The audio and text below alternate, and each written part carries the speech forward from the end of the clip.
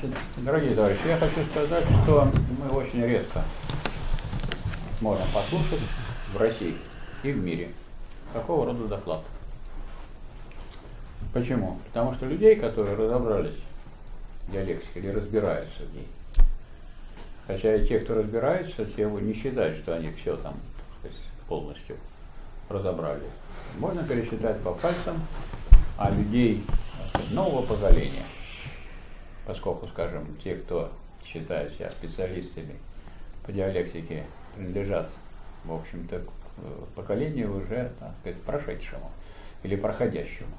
Совсем мало. И я думаю, что вот в виде Ивана Алексеевича мы имеем представителя вот нового поколения, которое, собственно говоря, и будет развивать и развивает марксизм.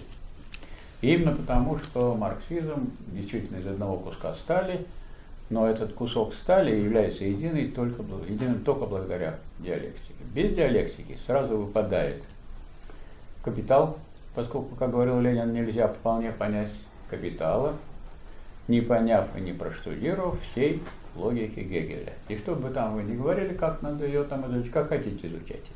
Хотите так, хотите с конца, хотите с середины, хотите какие-то книжки дочитайте, какие после, хотите философскую пропедевсику читайте, которая для школьников, из которой там вы никакого выведения не найдете, не поймете.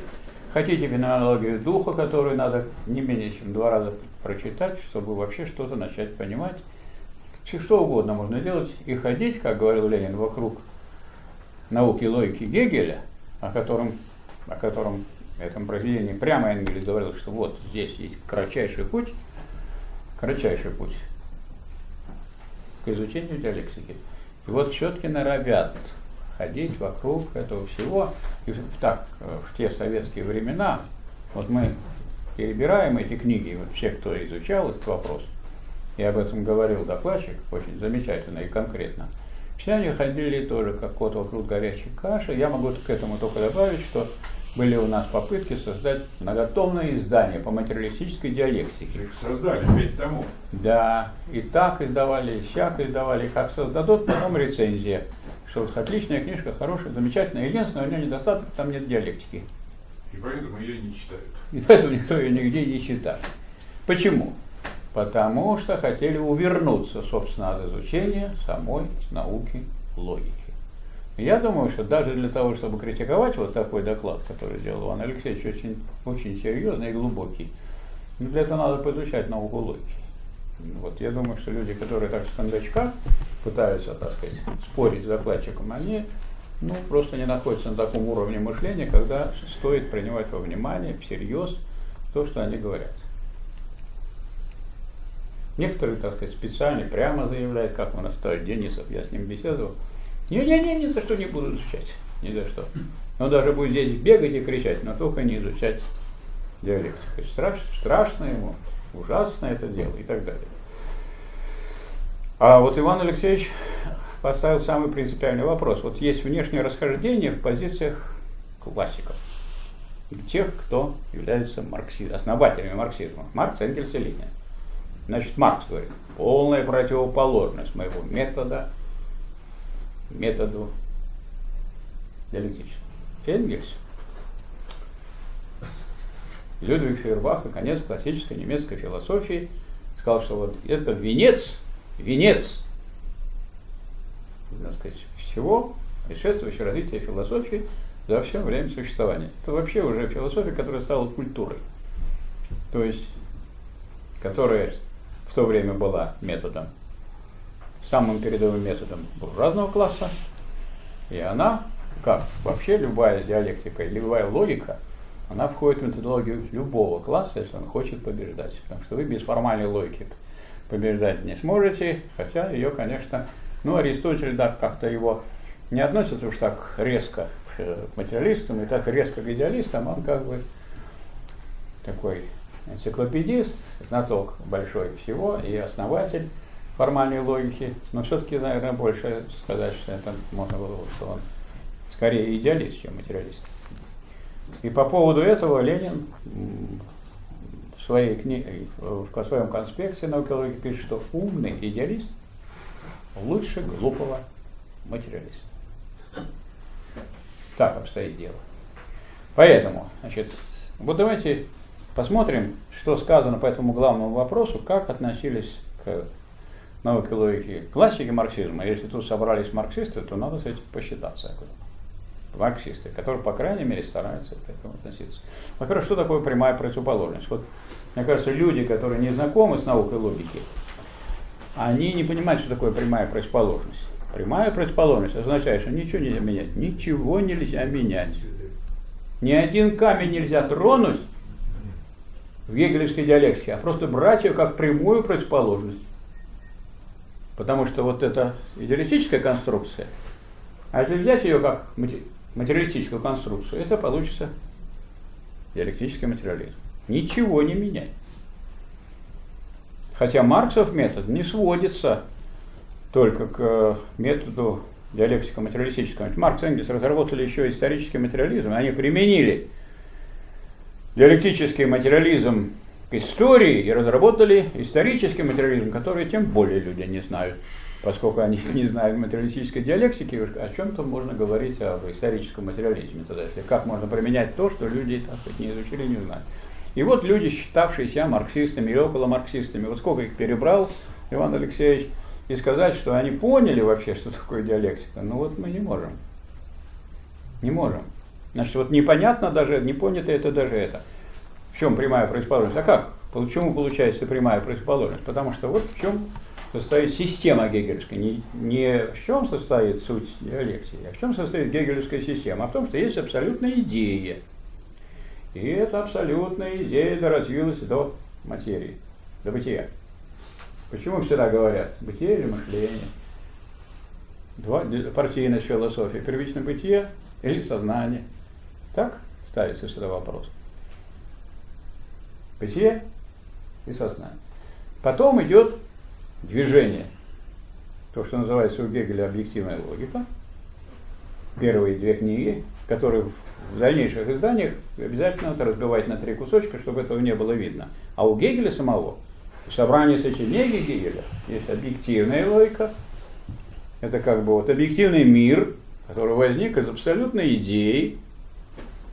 И потом этот объективный мир познается субъектом. Это субъективная логика, учения о понятии. И вот познав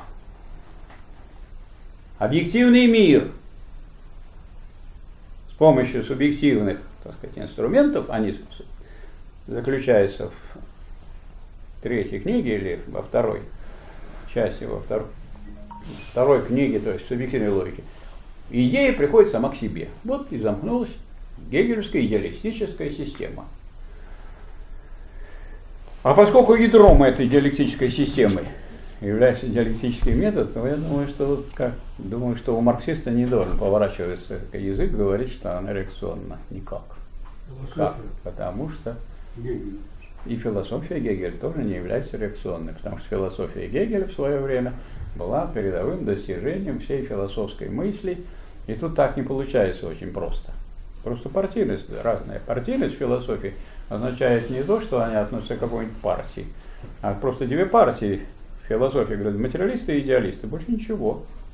Вот это имеется в виду под партийностью философии. Я так понимаю, вы читали материализм и перекретицизм? Вот так там у Ленина ставится вопрос о партийности философии, что вся, все философы разделились на две партии, но надо заметить всем, кто изучает философию, что не, не было так, что вот философы что-то давали, одни, а другие не давали. Одни вносили, будучи идеалистами, вклад в философию. Вот Платон, он против частной собственности выступил, а он был идеалист. А другие были за частную собственность, будучи материалистами за рабовладение – и так далее. И так вот получается, Гегель вот разработал диалектику для всего мира и для всего человечества. И просто я, извините за выражение, сказать, представители передового рабочего класса будут просто круглыми дураками, если они не возьмут этот инструмент. Поэтому он вооружил передовой класс тем, что является его главным оружием. А что касается буржуазии, она отвергает эту диалектику, она пытается к ней отнестись негативно. И все те люди, которые негативно относятся к науке логики, вот они и есть сторонники буржуазии, и есть самые реакционеры. И они, если они даже здесь присутствуют, имеют партийные билеты. И даже там, если серп и молот, и Ленин там нарисован, и все прочее. Вот что надо понимать. Ну и как решается эта проблема с противоположностью диалектического метода Маркса? Переворачиванием. Ну, только таким образом, что убирается снизу эта самая идея, она не нужна. И в конце она не нужна. То есть, как бы сказали математики, значит, есть нерациональная такая система, то есть впереди идея, потом идет вся система материализма, и в конце идея. Идея приходит сама к себе. Убираем начало, конец, и, как говорил Чехов, можете печатать. И вот тогда вы получаете систему материалистической диалектики. И поскольку она является прямой противоположностью, прямой, а не такой переделанной, перемешанной, как пытались сделать в советское время философы, они все хотели переставить категории и сделать мертвые кости скелета, да еще и перепутанные, как говорил Гегель. Вот поскольку тут ничего не надо делать, поэтому что нам говорит Ленин? Однозначно. В своем, так сказать, важнейшем, заключительном философском произведении о значении воинствующего материализма – что если мы не будем изучать науку логики, диалектику Гегеля, то мы тогда не сможем устоять перед натиском реакции и лжи.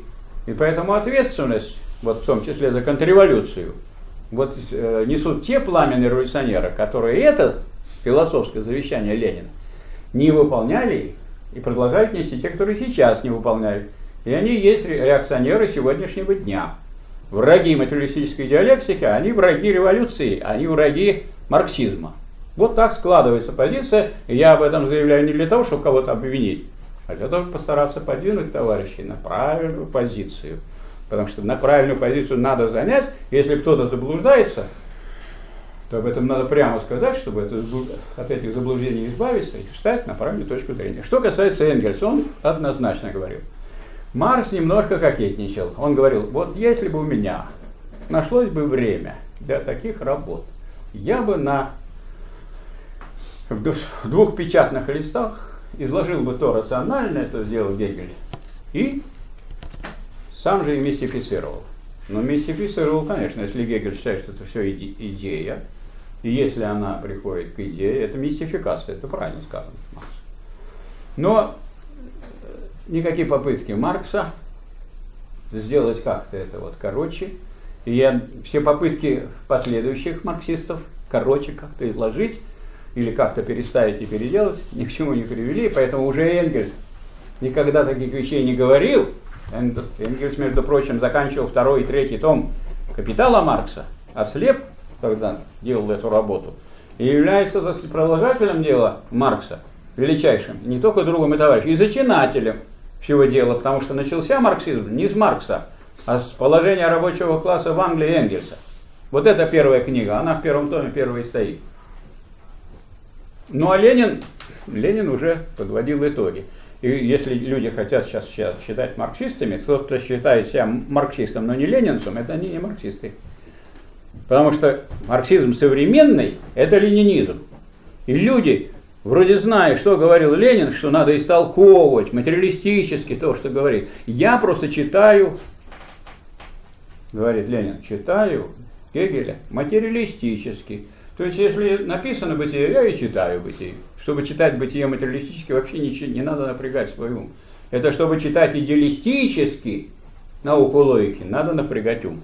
Вот смотреть всякие примечания, где говорит о Боге, в основном контексте, который надо изучать а не тот, который в примечаниях и в прибавлениях, там их не числа. Для этого вообще ничего не нужно напрягать. Читайте и понимайте эти материалистические, больше ничего. Другое дело, что вы изучите эту материалистическую диалектику, историческую материализм, знать вы еще не будете, потому что Гегель этого не сделал. И этого у Гегеля не найдете. И тот, кто хочет быть марксистом, не зная исторического материализма, марксистом не будет.